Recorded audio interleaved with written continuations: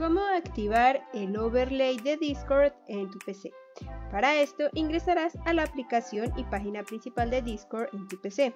En la parte inferior, junto al logo de los audífonos, encontrarás la opción de ajustes de usuario. Darás clic sobre ella.